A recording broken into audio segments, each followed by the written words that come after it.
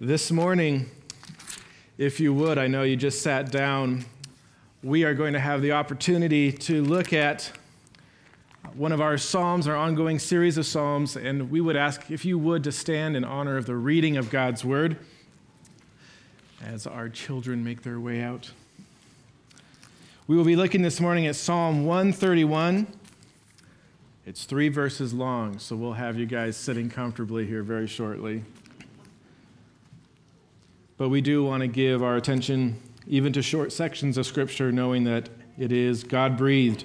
And so in Psalm 131, we read a psalm of ascents of David. O Lord, my heart is not proud, nor my eyes haughty, nor do I involve myself in great matters or in things too difficult for me. Surely I have composed and quieted my soul. Like a weaned child rests against his mother, my soul is like a weaned child within me. O Israel, hope in the Lord from this time forth and forever. Let's pray. Father, we come before you this morning as your church, and we ask that you would do a work in us to calm and to compose our souls before you, that we would be ready to receive your word and to conform ourselves to it. Thank you, Father, even just for the opportunity this morning to hear from our children singing the truths of which we as adults are still coming to understand and to live out, to see the faith being handed from generation to generation. And we are grateful to be counted among that chain of those who believe that goes all the way back into the earliest times of Scripture and will extend all the way into eternity. And so we ask this morning that we would be encouraged as we walk our little segment of that great race. And so we pray this in the name of Christ. Amen. You may be seated. Well, it has definitely been a fun week around here, busy, lots going on. Uh, thank you to all the parents again and volunteers involved in VBS. I've been requested, and before I forget, I'll throw it in now. For those of you parents that do have VBS kids, if you're able and willing to stay through just the first part of second service to lend your children's voices uh, for the benefit of second service as well, they would appreciate that if that's possible. But I want to turn our attention this morning to something that might be a common phrase in our culture, but is probably a very poorly or little understood concept. And that is the idea of having childlike faith. And I think we see a picture of that in our psalm this morning. And I think it's a really timely and a helpful topic given the state, really, of our country and for many of us, just our own lives. America's got some issues right now. I don't know if you've noticed. We're all a little stressed out. We've gone from the land of the free and the home of the brave to the land of the freaked out and the home of the dismayed. Uh, the American Psychological Association, even all the way back in 2014, when they did a fairly landmark study, noted that over 70% of all people interviewed, so they experienced both physical and psychological symptoms of stress in their lives. They described fatigue, headaches, upset stomachs and muscle tension, irritability, anger, nervousness, nervousness, lack of energy. 70% of people in our country said, This is my life.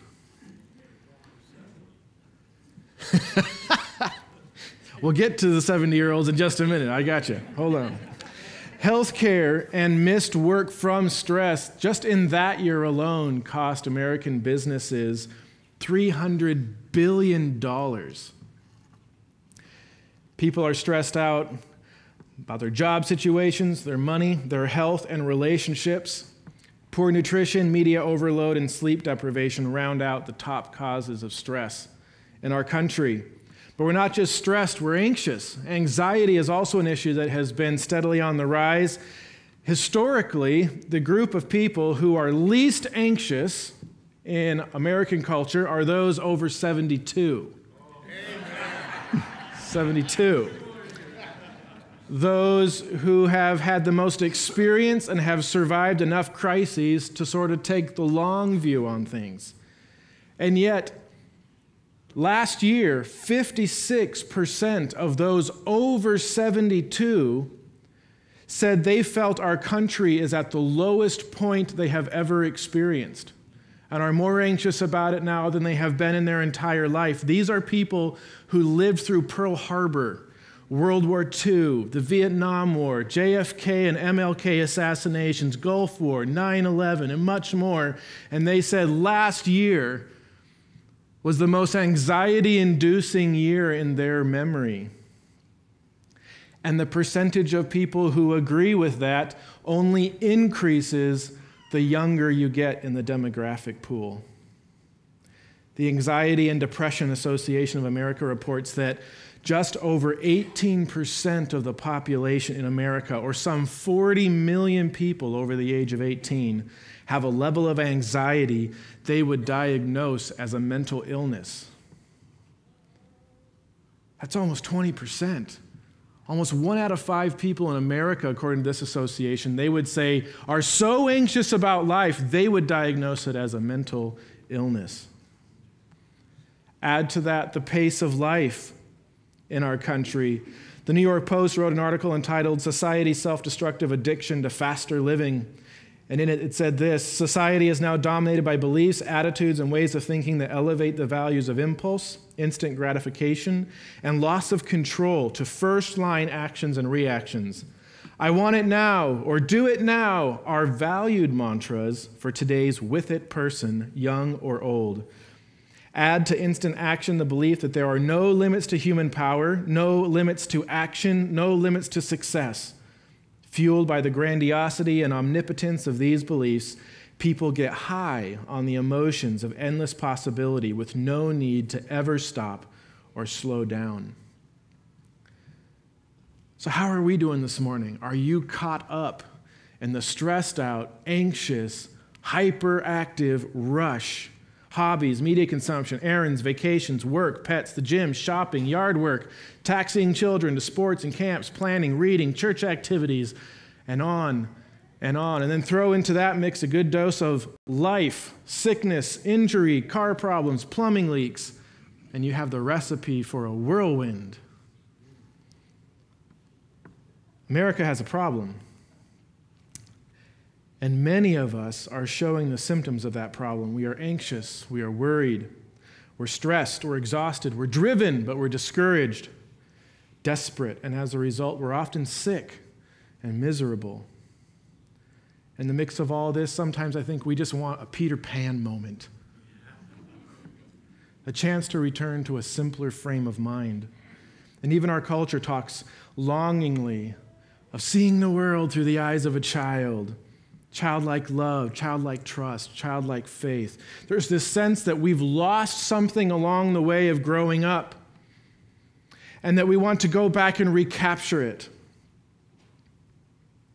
And our psalm this morning is the antidote to the frenetic lifestyle that our country is accustomed to and that so many of us are accustomed to. And it may not even beco- involve becoming less busy, but it will involve recapturing an attitude that children sometimes instinctively grasp, but that we as adults will need to grow to achieve. And so that brings us to Psalm 131 this morning. And in contrast to Psalm 119 that we looked at a few weeks ago, the longest psalm in the Bible, this is one of the shortest psalms in the Bible, but I think it packs no less of a punch it just fits it all into a very small space. Psalm 131 is a, a psalm in a group of very special psalms that begin with Psalm 120 and run through Psalm 140, 34, excuse me. And notice in your Bible that this psalm, like the ones around it, begins with the phrase, a song of ascents.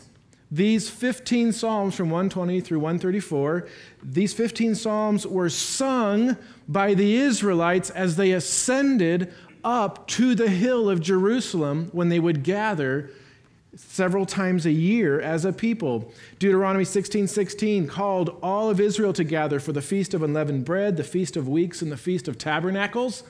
We're right in between the last two on our calendar. Uh, if we were in Israel and the temple was still there, we'd be getting ready for a journey in September up to the temple for that last feast. And as we would go, we would likely in that caravan be singing to each other these psalms, preparing our hearts to enter into the city of God and his temple. And there are some who've actually pointed out the significance that between the court of the Israelites and the court of women in the temple, there's a staircase consisting of the same number of steps as there are psalms of ascent. And some theorize that when you actually finally made it to your destination, you would stand on that first step and sing the first psalm, and then you would go to the next step and sing the second psalm, and you would usher yourself with singing into the temple. That staircase you can still find today. I know some years ago when I had a chance to study in Israel as a student, our whole class, we did, did that together. Now, they didn't trust us singing, so we read from the Psalms, but it didn't want to disturb the peace of Jerusalem. Uh, but it was a real special experience to, to get a sense of that anticipation of singing all these truths as you're about to go into the place in the Old Testament where you would encounter in a special way the presence of God. Four of the Psalms are written by David, one is by Solomon, the rest are anonymous. But together they prepared the hearts of God's people to worship Him. And so, as we look at Psalm 131, what are these three short verses written for Jewish pilgrims heading up to a temple in Jerusalem for a feast day, written by the ancient King David. What do they have to say to us in America in the crazy 21st century lifestyle that we are living in? I think the answer is quite a lot. And I hope by the time we're done this morning, you'll agree, at least at some level, with the commentator Croft, who said of Psalm 30, 131 that it is one of the most beautiful psalms in the Psalter. So let's dive in and see in verse 1 the first of three principles, simple principles that combat stress, anxiety, and the disquiet of our souls. These are three marks of a man or of a woman who has achieved a biblical state of childlike faith. And that first mark is that he or she is humble. He or she is humble. Look with me at verse 1. O Lord, my heart is not proud, nor my eyes haughty, nor do I involve myself in great matters or in things too difficult for me. We see right off the bat that this psalm is a personal cry to Yahweh, to Yahweh, O Lord. And that is significant in the various uh, Psalms of Ascent, you will actually see this word Yahweh, this title for God, used 48 times. Because these are the words of God's people calling out to their covenant God. And so, just like in the other Psalms of Ascent, we see here it opens with this description of God as the one who personally cares about me the one who has a relationship with me based on his promises. I'm coming to somebody with whom I have to do and that I have a close connection to. It's a beautiful way to begin, and it is not introducing just a theological treatise, but it's introducing a personal statement from the heart of David himself. This is a very personal psalm. If you look at it, imagine you were writing a psalm that was going to be sung by the whole congregation of Israel. These are personal thoughts. David's not just saying, Hey, let me tell you about the attributes of God, O people. He's saying, I'm unburdening my heart before Yahweh, and I'm inviting you to come and to see. And so we have this very personal, personal psalm. David speaking very honestly of his own heart. And in this first verse, he's making two points. David is telling God that he is coming to worship him after having governed his life with two very important principles. First, that he has avoided pride, and second, that he has avoided presumption. He has steered clear of pride and presumption. David's life was one of a king. This was a powerful man, and he was a warrior king. Right? There's some kings you might snicker about them behind their back, But David wasn't that kind of a guy. He was a buff dude and in charge. And yet, David's life was marked with humility. Not something that may have come easily to him in his early years. In fact, early on, when he went to visit his brothers as they were lined up and fighting the Philistines, and Goliath was taunting the people of God, as you'll recall, when David showed up, he's asking around, Hey, why aren't you? Who's going to go fight this guy, right? And his brother says, Hey, David, I know the pride in your heart. I know the pride in your heart. You're just here because you want to watch a battle. And so, whether that was true or not, David had at least been under the cloud of suspicion of pride from a young age, although I think all older brothers figure their younger brothers are just being proud when they say something they're not courageous enough to say. So, there may have been some of that going on. But David was going to learn and exhibit humility throughout his life. He was raised as a shepherd, and he never forgot that humble upbringing. God told him he was going to be king, and then he spent a decade running around in the wilderness, unable to actually realize what had been promised to him. And as you'll recall, multiple times he had the opportunity to take matters into his own hand and force the issue. And he chose not to, but to wait until God elevated him. He held civil war, first with Saul's son Ishbosheth, later with his own son Absalom. He was even cursed by a man named Shimei as he fled Jerusalem, running from his own son. And you don't see David flying into a murderous rage. How dare you? Do you know who I am? He never seems to have lost the grasp on, I am just a man. I'm just a man. Now, did he make some serious mistakes? Yes. And there were times when pride did lead him into sin. But if you stand back and look at the life of David and look at what characterized him in the main, he was a humble man. And that is not an easy thing to accomplish. And it is something that we as well need to strive towards. To be proud here is the idea of lifting yourself up. Human beings in the human heart, we are elevators. There's a part of our nature that is just designed to be an elevator. We find something and we take it up to the top floor, we hold it up.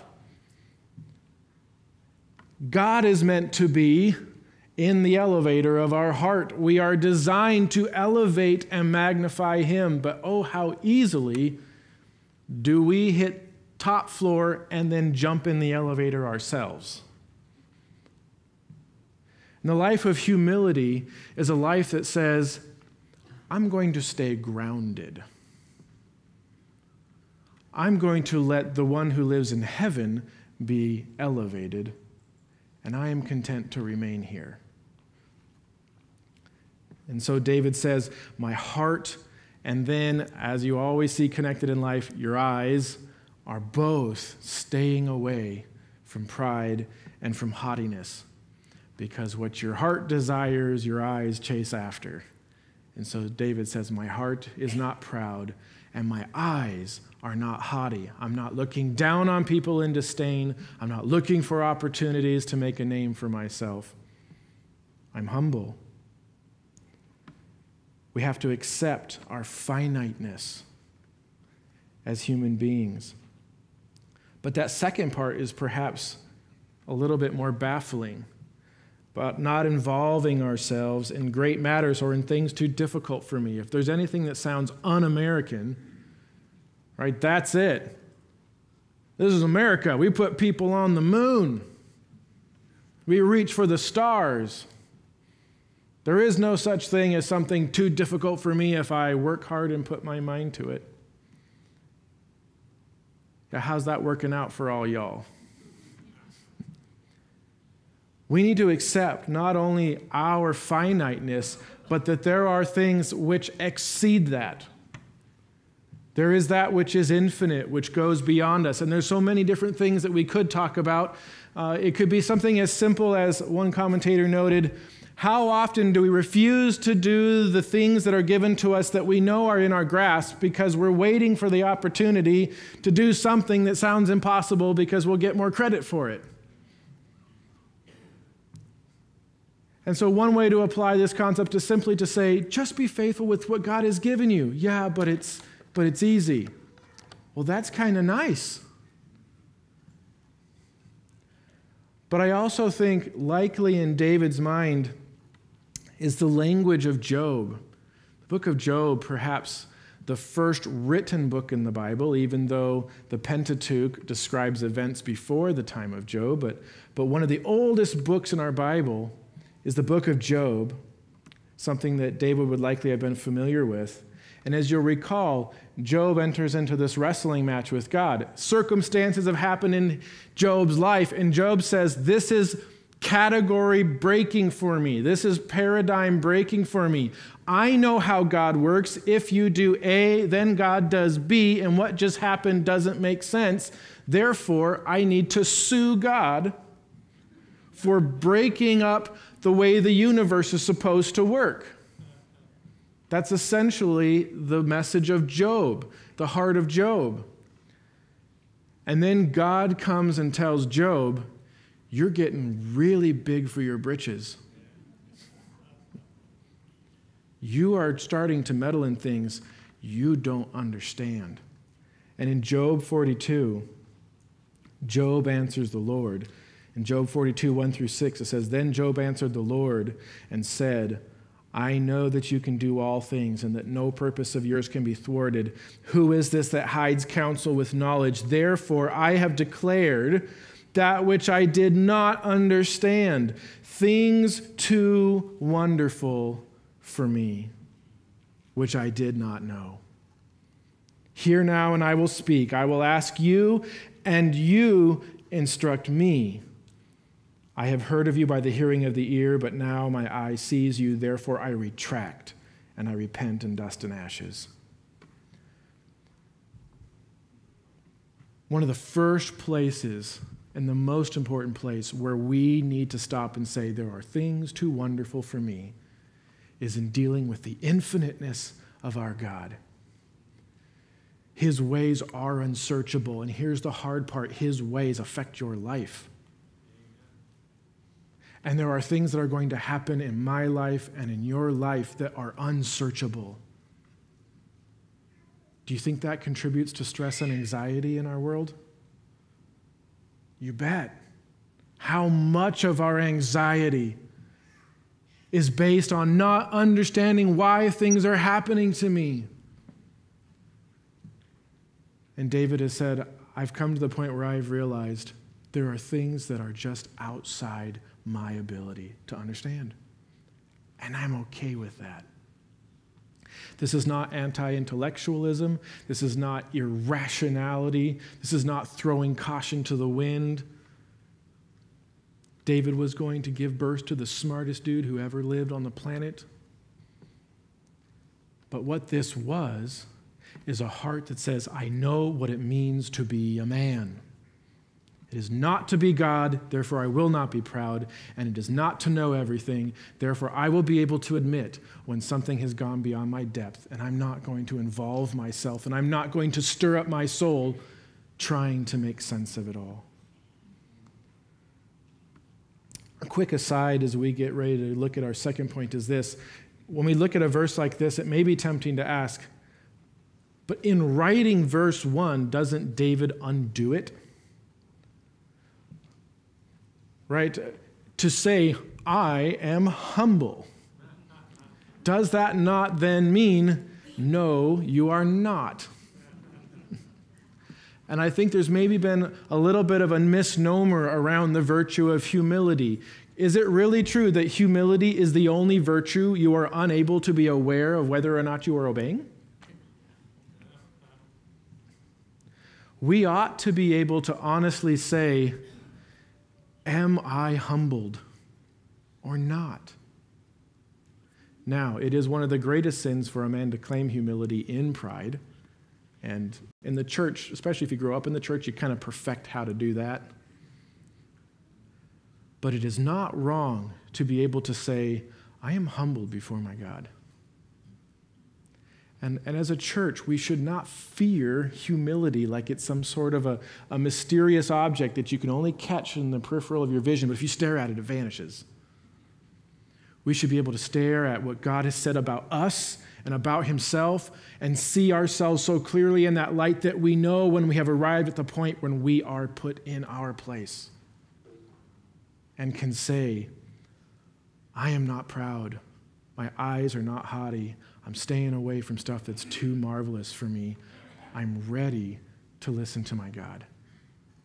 And that is the point where David humbly and honestly and by inspiration of the Holy Spirit has arrived in Psalm 131. And doing this in our own hearts enables us to bring our soul to a very special place quiet.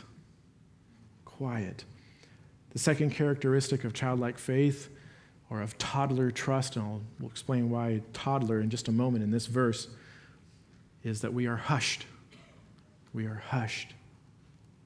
Psalm 131, verse 2 Surely I have composed and quieted my soul, like a weaned child rests against his mother. My soul is like a weaned child within me. This word surely isn't actually there in the Hebrew, but it's an attempt on the part of the translators to get across the idea that the Hebrew of verse 2 is structured like an Old Testament oath. It's like a declaration of something that you are promising is true. And so I think it's appropriate to put that word in there. This is the case. What's the case? What has he done? He has composed and quieted his very soul.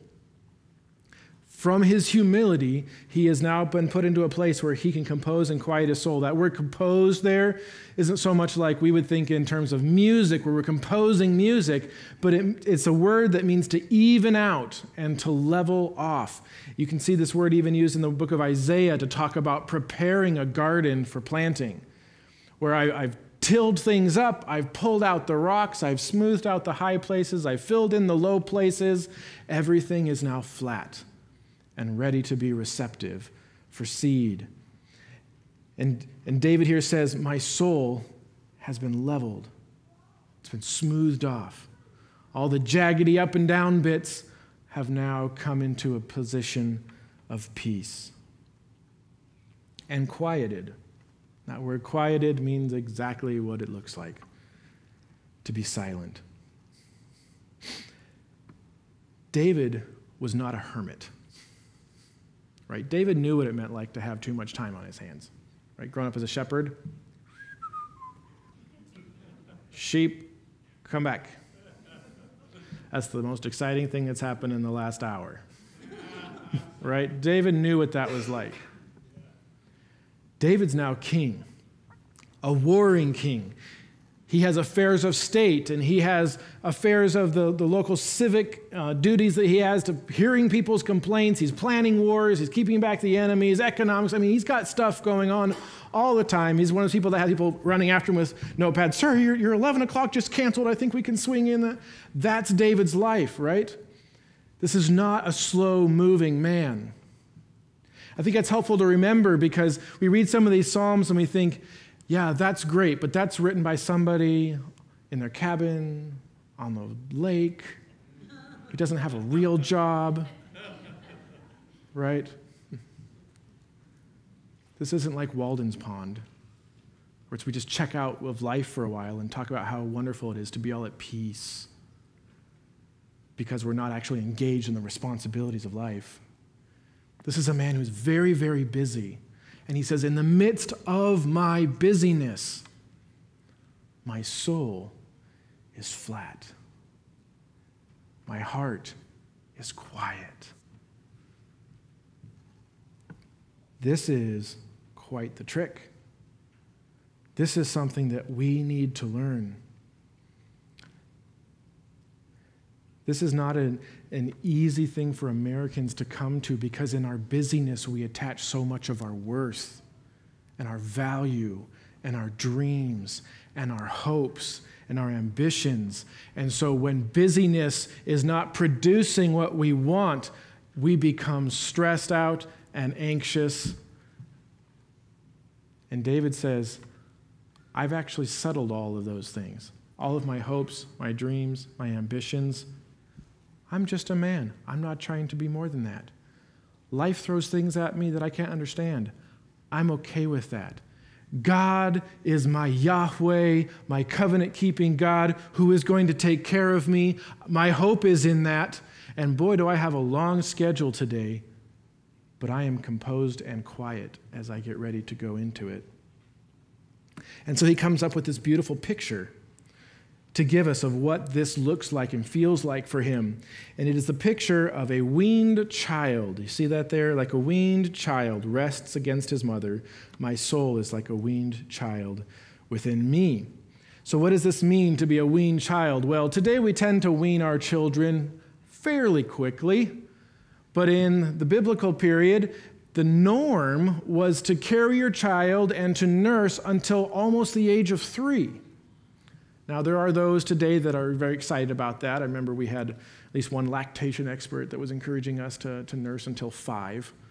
It's like, I kind of have a rule if you can ask for it, you can't have it. but the idea of weaning in our culture is a very short period tied to infancy, but in, in the Israelite culture, it was more until they were toddlers and that's when you would wean them. And it was not always an easy process because at that point, they're self aware enough to know what they want and how they've usually received it and to be pretty, pretty, insistent about it. And so it was a difficult process of weaning your child and teaching them, no, your life is different now. But when that process had happened, the child had a very different disposition. Whereas before, the child was characterized by a desperation to get its needs, wants, in the way, or its needs met in the way that it was accustomed to, the child had now learned that food will be provided, your needs will be met, and you can relax. These children were usually still carried by the mother in a little wrapping, especially when they're very young like that, as the mother went about her duties. But instead of always saying, I want milk, I want milk, now you had the wean child that was just resting, relaxed. I'm okay. I'll be taken care of. And David says, like, like that weaned child who's just hanging on his mom, wrapped close and safe, not desperate, not demanding, content, knowing that where he used to get all of his sustenance from is no more, but that that's okay. That's what my soul is like inside of me. When your soul nestles up against your heart, is it like a weaned child that just says, Yeah, good to go? Or do you find that battle where your soul says, this isn't right. I'm not content. I need more. This isn't working. God has taken this from me, or God won't give this to me. And you find this constant source of conflict and desperation going on between your heart and your soul.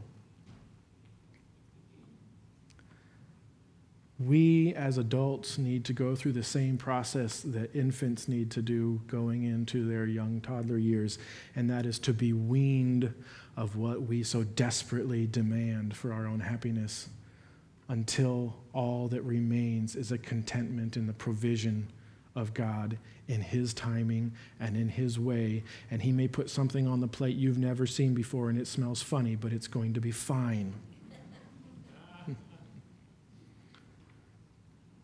There's a weaning that takes place at salvation when we are weaned from our enslavement to sin and to the world, but there is a continual weaning process that we call sanctification, in which we are being set apart further and further from the world and from all those things in it that our hearts are still accustomed to desiring. And we must go through that process.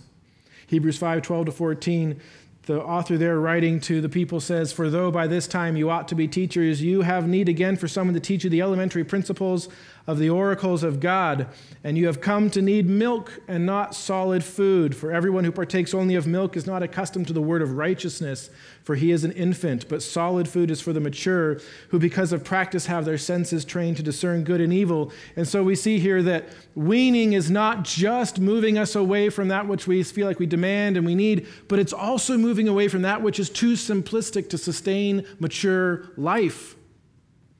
And it's moving to the place where we are sustained and contented by solid food that is able to help us grow into real maturity. This is not a place, childlike faith is not a place of spiritually regressing back to infancy.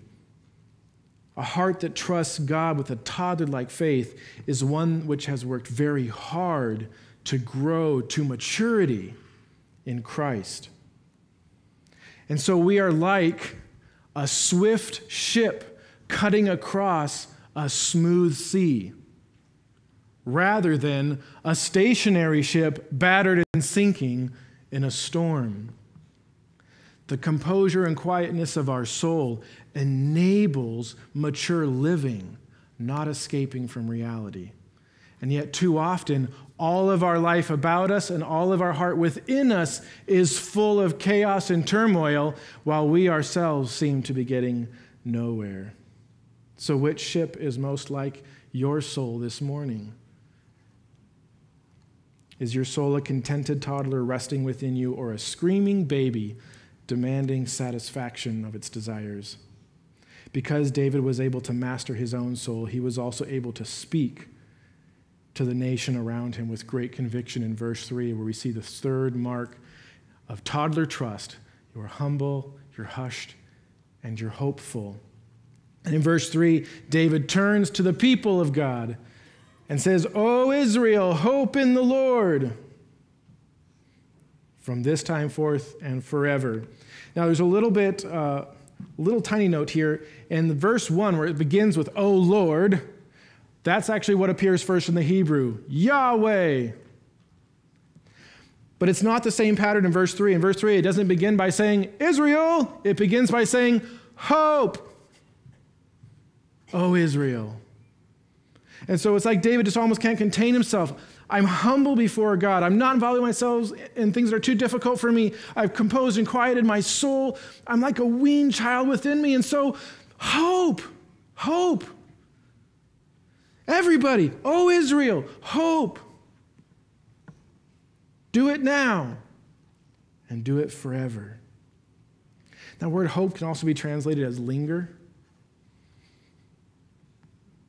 To linger, right? When we see somebody who has just sort of quit and given up, we often say they lost hope. They've lost the ability to linger in their condition. They've lost a reason to stay where they're at. And David says, Yeah, life throws stuff at you you can't understand. So just linger and wait. Wait, because Yahweh is still involved. How long do I need to wait? Well, now and forever. When, when can I start screaming for milk again? Don't. When can I say, Mommy, Mommy, Mommy, Mommy, Mommy, Mommy, Mommy? Don't. Hope in Yahweh. Hope now. Hope forever. And so, see the rhythm of the Jewish life coming up to the temple these multiple times a year. And every time as you come, you're reminded be humble, be quiet, and hope. When? Right now and forever. A few months later, hope now and forever. A few months later, hope now and forever. And this became the cycle of encouragement for the nation of Israel. And I want to challenge us. Let's incorporate that into our cycle of worship as well. When we come and gather corporately as the church to worship God, let us remember we must come humbly. We must come with a quieted spirit. And let us hope now and forever. Next week, next Sunday, let's hope now and forever. Next week, next Sunday, let's hope now and forever. My circumstances haven't changed. Next week, let's hope now and forever. And so Sundays will become the footprints of our conviction of faith as we stride week to week through life from here until our eternal rest. That is the pattern that God wishes us to follow and is laid out here in this psalm. I want to take just a few brief minutes now before we sing our closing song. If you're like me, there's a lot of stuff on your back burner right now, and your front burner, and a few things that need to go on a burner you don't have room on the oven for. And would you just take a few minutes in physical quietness to just talk to your Lord and say, Lord, would you help me to compose and quiet my own soul? And let's leave this building this morning refreshed, humble, hushed, and hopeful. I'll close this in a moment, in a moment, in a word of prayer, and then we'll sing our closing song.